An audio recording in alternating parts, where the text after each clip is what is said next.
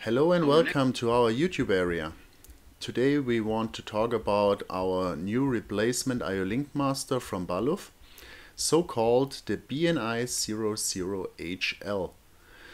We tried to keep up the usability of our masters on a really high level, but therefore you have to respect some rules. And these rules I want to show you directly in our TIA portal. So we jump over to the TIA portal to give you the insights. So this one, this setup works out with the new Profinet specification 2.4 and you can work here with your pin 2 as input and pin 2 as output. This one is the highest priority.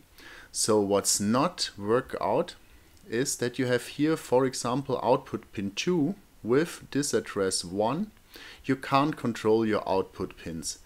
Therefore we need this one because this one is the priority. And if you want to to switch on 1.0 to high it will be blocked from that address.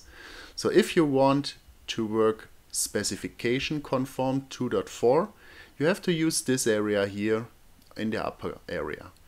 If you want to use your well-known Balluff comfort functions then you have to replace this area here that these modules here work out. So I want to show it to you. You have to delete the upper module because this you can't delete. You have to delete it. Right click, delete. Yes.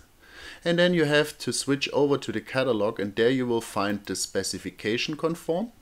This one is with the addresses in the head and this is without these addresses.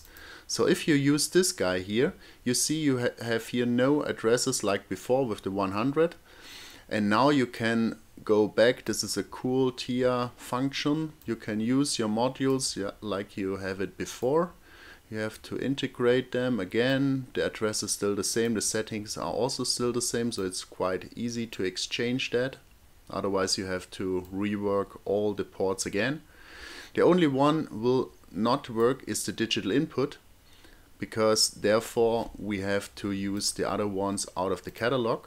So delete them and delete this guy. And then you have the possibility to use here from the digital I.O. because you see we have here now also the without I.O.